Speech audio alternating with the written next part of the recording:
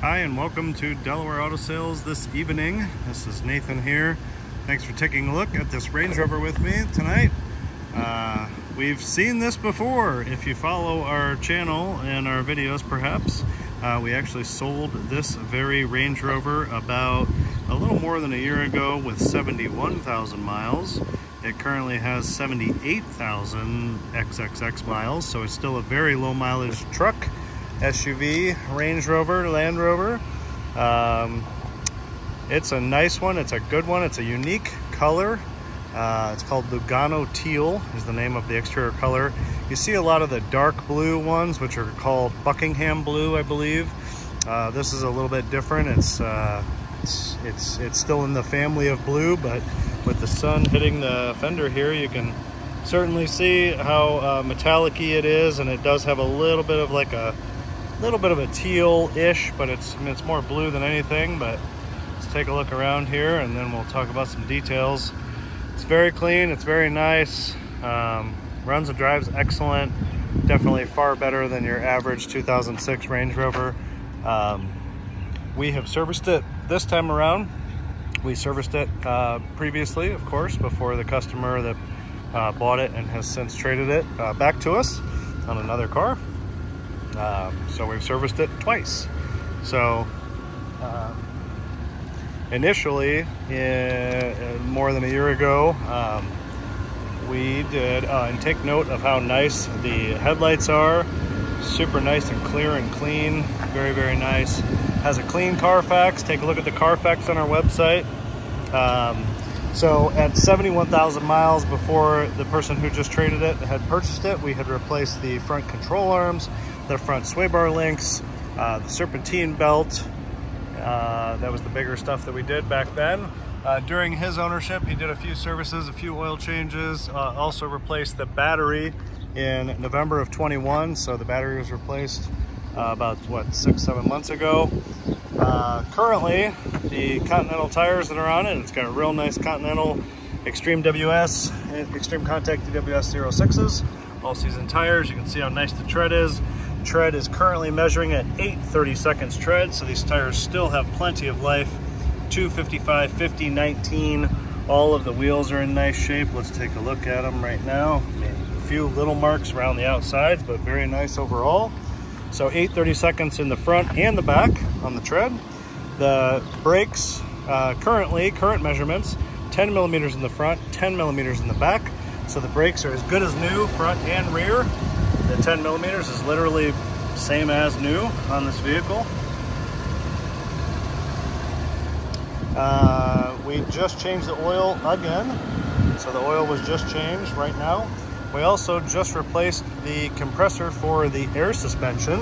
It had started to fail, which was honestly part of the reason why the previous owner was ready to move along to something else. Um, didn't want to spend the money to do it, uh, but uh, we took care of that, put a new compressor in it, and all is well. And the air suspension works just as it should. So 830 seconds tires, front and rear, 10 millimeters brakes, front and rear. Just had the oil changed, the air compressor, uh, air suspension compressor replaced. Uh, all those wheels are in great shape. You can see how nice and even all of the tires are. I know the sun's a little bit bright on this side, so just show how nice this paint is on this side real quick. Get a little bit of a, there we go. A little bit of a sun effect there, but it's really, really a nice, nice truck. Let's take a look inside and then we'll look under the engine compartment and listen to the engine. Uh, we can start here in the back, why not? Oh, I didn't unlock it. and we'll start in the front. so, real nice beige interior. It's in real nice shape. Uh, Harman Kardon sound system. Love the window controls on this. They're very ergonomically correct when you go to put the window down. Uh, Range Rover OEM rubber floor mats. Look how nice this driver's side seat is and the armrest. You can see, unlock the doors now, you can see how nice even the armrest is. I mean, a couple teensy little marks, but very, very nice. Um, the leather is nice and soft. It's not dry. And there's a little bit of checking here on this side bottom piece, but it's so nice. power seat with memory. Look how nice the bolster is on the upper. There's no ripping or tearing or anything crazy like that. Uh, factory sunroof. Shades closed because it's so hot. One touch open.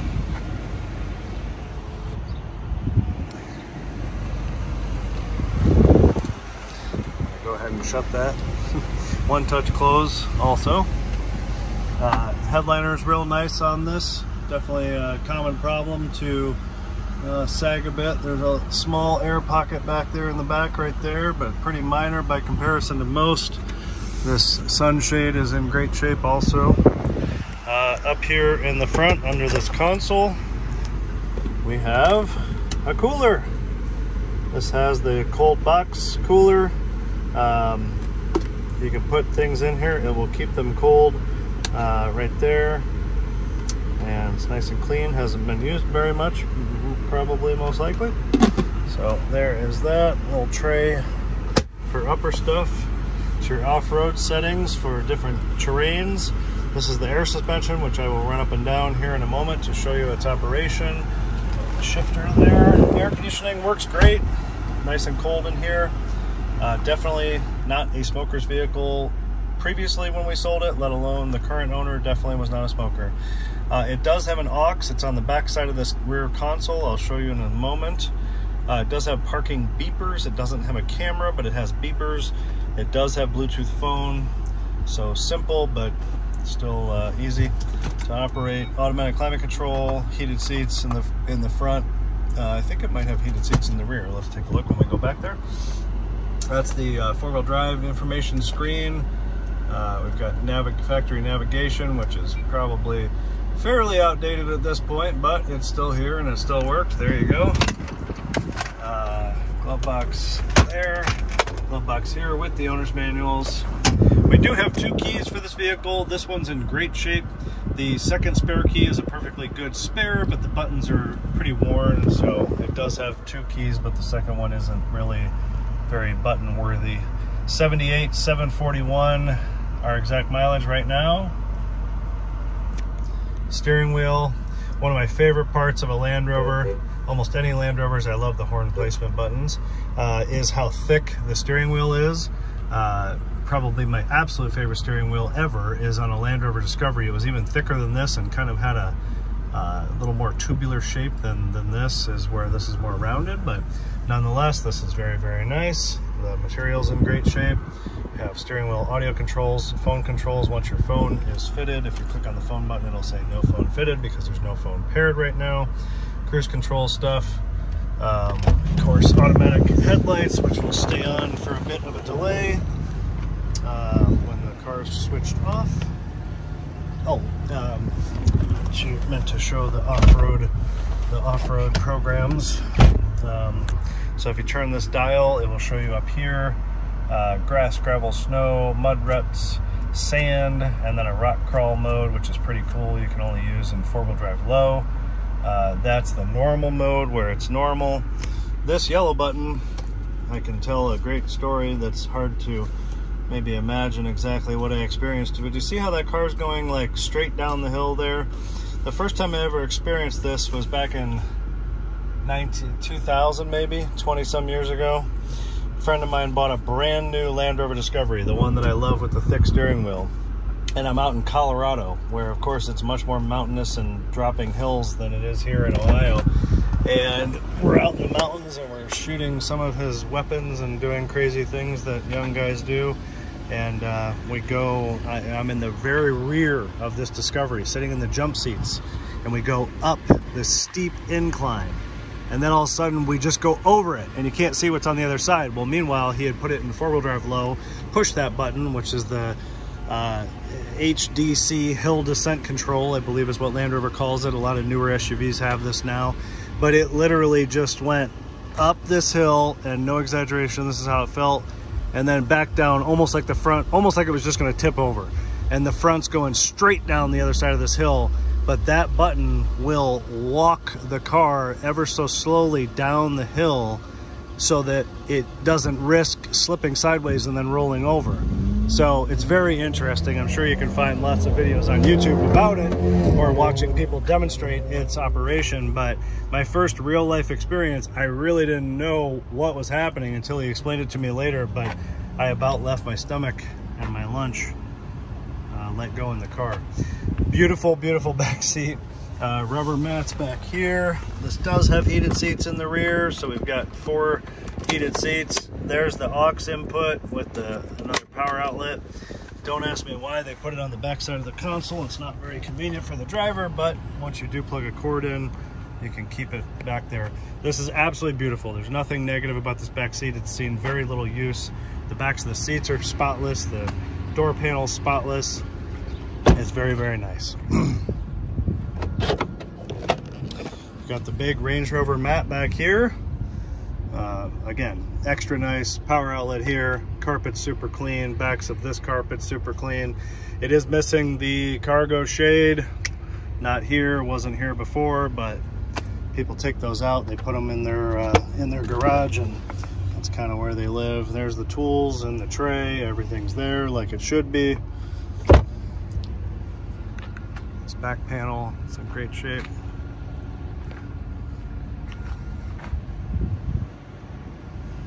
So yeah, so that's my story about hill descent control and uh, and uh, Colorado.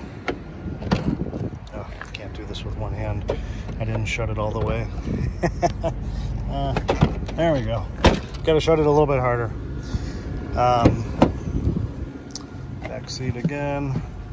Now maybe I Forgot about these little bump, these little marks right here. Very small, but they are there. But the leather's beautiful. Forgot about those little marks. I remember those from before. Door panel, very nice. And for the age of this car, I don't think you can really complain much about anything condition-wise because it's far better than the norm. There's a tiny little scratch on the leather right there. There's a couple little dimples right there. But again, very nice, very, very soft material. There's the rubber floor mat on this side, so it's got the complete set of rubber mats all the way through and through.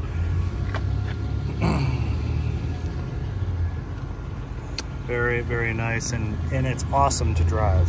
I mean, it is a V8, but great power, smooth, comfortable, heavy feeling. Um, let me operate the air suspension briefly. Uh, I'm gonna put it in the access mode and we're gonna see it go down here.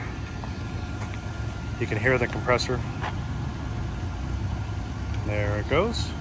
I call this the grandma setting. When grandma needs to get in the car, you can lower it down and then it'll, it'll, uh, it'll go down.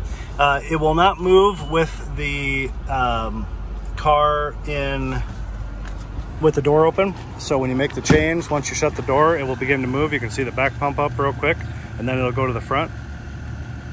You can hear the compressor if you listen. So that's pretty much it right there. It, it kind of tweaks it out a little bit. It takes a second. I'm not gonna stand there and make you watch every movement. And then the high level is the off-road height, which it won't drive at this height for speeds in excess of 22 miles an hour, I believe it is. It'll drop it back down to the normal level. You can see the difference on the clearance of the tires to the body of the car. It's still going up right now. It's pretty much there. Once it finishes going up, the compressor will kick off. Um, but you can see the height difference there.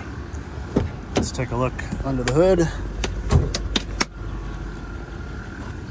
You can hear the compressor. Oh, I think it just turned off.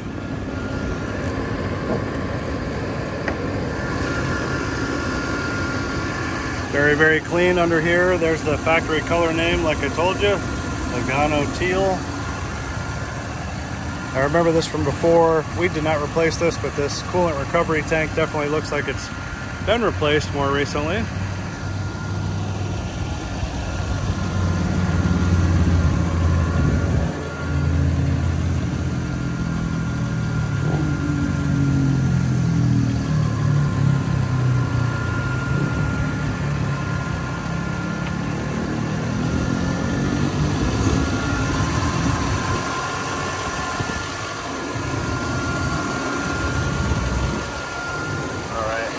Hover here for a moment so you can listen to the engine.